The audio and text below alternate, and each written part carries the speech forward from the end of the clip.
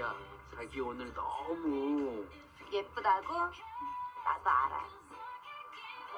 자기는 어떻게 내 마음을 잘 알아? 그럼 오늘 라면 먹고 갈래 자기네 집에서. 대신 라면만 먹어야 된다.